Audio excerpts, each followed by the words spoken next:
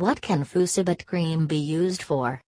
Fusidic acid is an antibiotic that helps to kill bacteria that cause infections and betamethasone is a steroid that helps to reduce redness, itching and inflammation. Fucibet cream is used for cases where the skin is inflamed but there is also an infection present. This is usually in cases of infected eczema.